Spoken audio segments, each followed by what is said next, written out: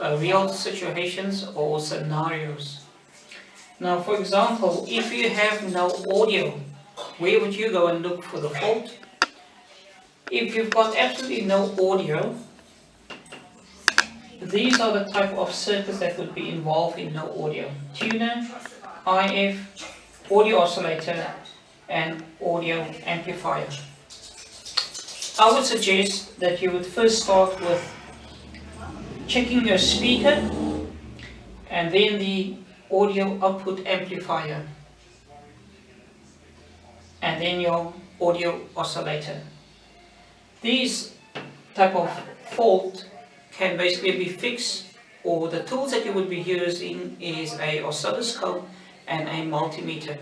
So you would look at the DC voltage, if the DC voltage is present, and then you would look at the audio waveform. If you've got a audio waveform coming out of the oscillator, so if you've got the audio oscillator coming out of the IF, and you've got an audio waveform coming out of the, the oscillator, but nothing coming out of the speaker, the impossible fault is your audio amplifier.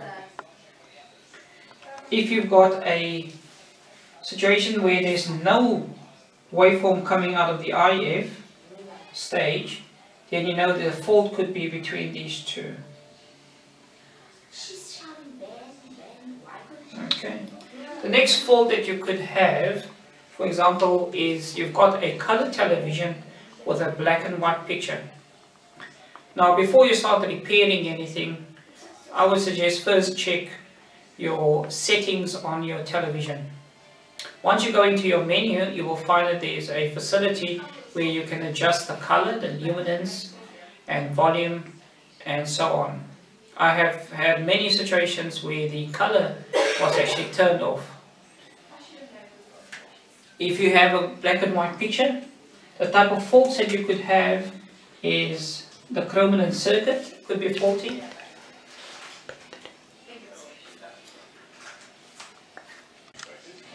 In conclusion, we will discuss scenarios of typical faults that you could get. For example, if the television is dead, where would you go and look for the fault? Possibilities in your power supply, if there's a fault with color, if you have no color or the color is um, swapped around, like green is in the place of black and yellow is in the place of cyan, typical situation would be either the RGB or the color circuit, chrominance circuit. If you have a black and white television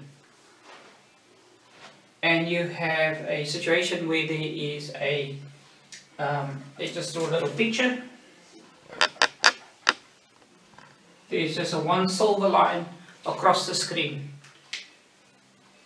This indicates that you have a fault in the vertical circuit or the frame circuit. If you have a line from top to bottom, that is an indication that you have a horizontal from either in the oscillator circuit or in the horizontal output circuit. If the sync pulse is too small, it doesn't reach the 300 millivolts, what you will also get is a picture that's going sideways on the screen.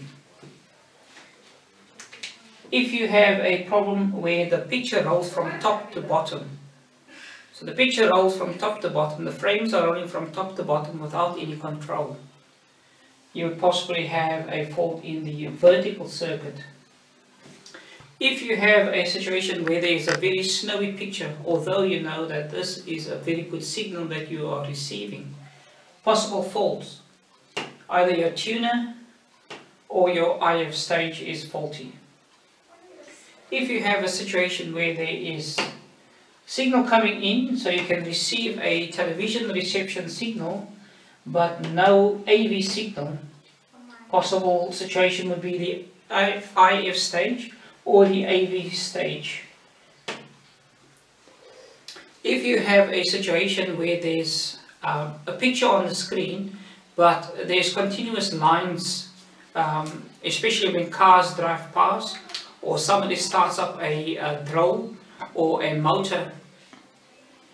Possible situation is your filter circuit.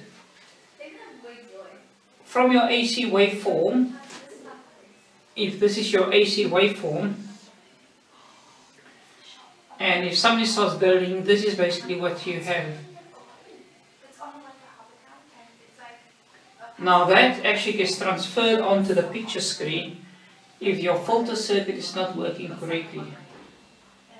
What sometimes also happens is that your rectifier stage goes faulty and instead of having a bridge rectifier with four diodes that's working properly, you have maybe two diodes that's working properly and two that's open circuit. You would still have power coming through, but your picture quality would be very wavy. So that concludes your element 1, 2 and 3. Um, so from here on you need to do some homework and look at different situations where different faults occur. Thank you for attending this course and um, prepare yourself for the assessment. Thank you. Good day, my name is Peter Lucas, the assessor for the following course. It is Troubleshoot Fault in Televisions. Unit standard is UEE NEEH171A. And this comes from the TAAS401B Part B.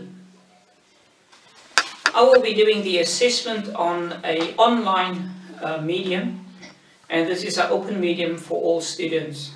It makes it much more accessible to students that cannot um, get to the classrooms.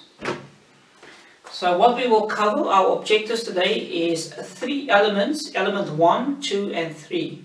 Element 1 refers to the safety aspects of working with televisions. Uh, element 2 uh, will work with the knowledge of the television.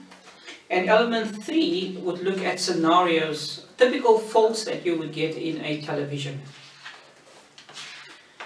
Now today we will first um, look at element 1 and we will start with our questioning process. Element 1 question is what must you do to prepare before you start working on a television?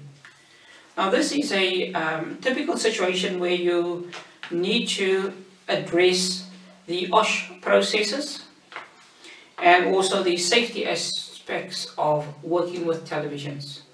And I expect five uh, nice uh, points in this question. So you can start with that one. Now we go to element 2. Element 2 refers to the um, specific knowledge of the different block diagrams on the television. First question. Draw a block diagram of a color television. You should be able to draw a block diagram of a color television. Please fill in all names and all arrows of how the signal actually follows, including the power supply unit. Question 2. Indicate on the diagram with a 1 which block will give you a black and white picture in a color circuit. There's possibly two answers. I'll repeat the question. Indicate on the diagram with a 1 which block will give you a block black and white picture in a color circuit. So if, for example, if you feel that this is the one that's causing the problem, just put a 1 on your little diagram.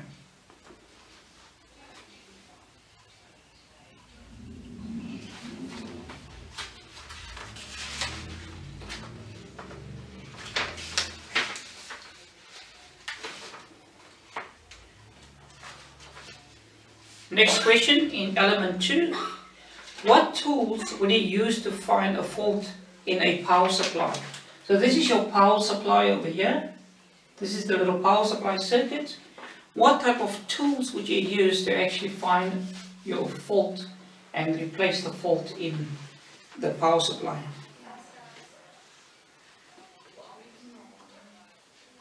You will see in your answer book I have given you a selection of about 10 different items. Please just make a little cross. So if, let's say the, the item is a spade,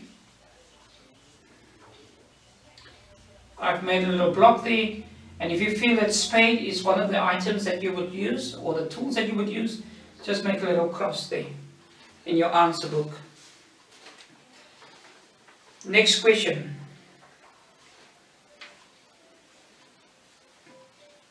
What tools would you use for looking for a fault in the line stage or in the horizontal stage of the television. What type of tools? It's exactly the same situation, little block, and there's about five different uh, items that I've listed.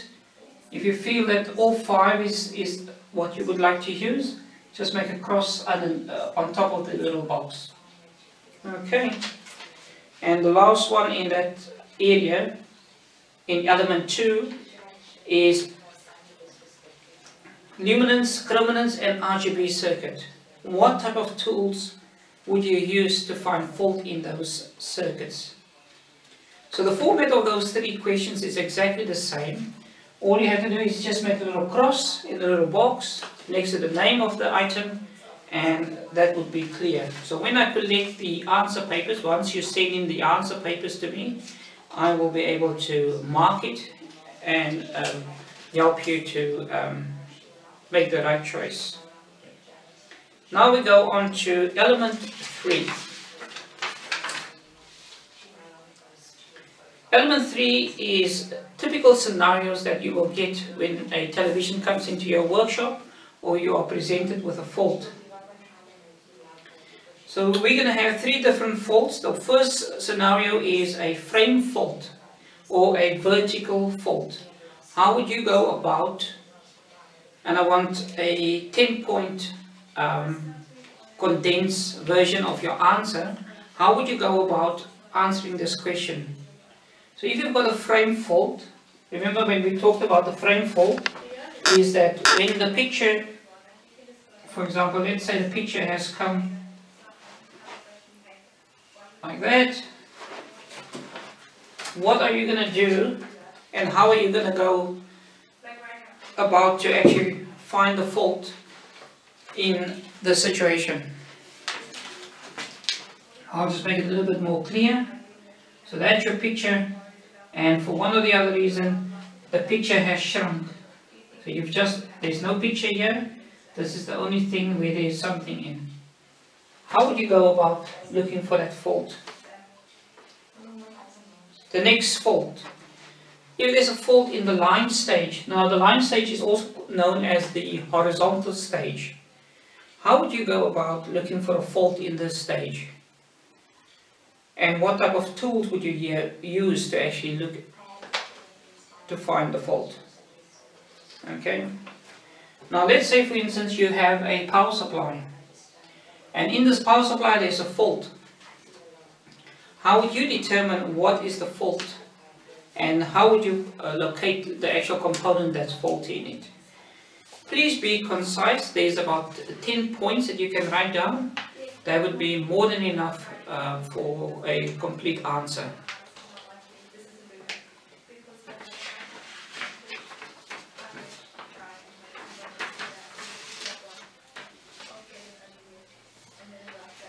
Next question under element 3. Which block in this diagram will give you a green picture on the screen. So if you look at the picture,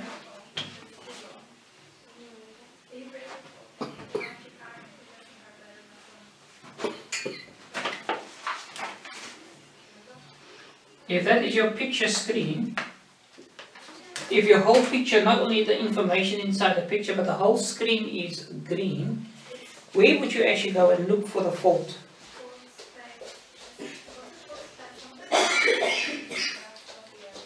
There's two possible answers as a hint. Question 4 under element 3. If your horizontal sync pulse is 150 millivolts, what do you think is the result? What should it be and what is the frequency of that circuit? Remember we were talking about uh, the horizontal pulse um, in a, one of our lectures and basically it needs to be a certain size for it to actually work properly. Otherwise there will be consequences with the circuitry it will have an immediate effect on the quality of the picture. Question number five. What is the cause or where will you find a fault if there is a rolling picture from top to bottom or bottom to top? And what is the frequency of that circuit? So basically what we want to know is what is wrong with the television if you find a picture that is running from top to bottom or bottom to top. And in that specific circuit, there is a frequency. And that frequency is equal to the power supply frequency of your AC that's coming into your television. That's another hint I've just given you. Last question in element 3. If you've got a snowy picture on your television and you know the signal is a good signal that you're getting, there's nothing wrong with your aerial or your antenna, there's nothing wrong with your cable or connectors. It's been tested with another television and that picture, that television plays properly and your television is not playing properly. It's got a snowy picture where would you go and look for the fault? And what is the possible solutions? Good luck with this assessment and I hope you are successful. The assessment uh, pass mark is 50% and once I've received your answer paper uh, via email or post, I will then send out immediately the results to you. It won't be more than two working days. Thank you for listening.